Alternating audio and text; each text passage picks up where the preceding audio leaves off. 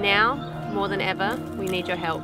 If you can take one of our animals home through adopting, then my mum, my dad, my grandma can go home and flatten the curve.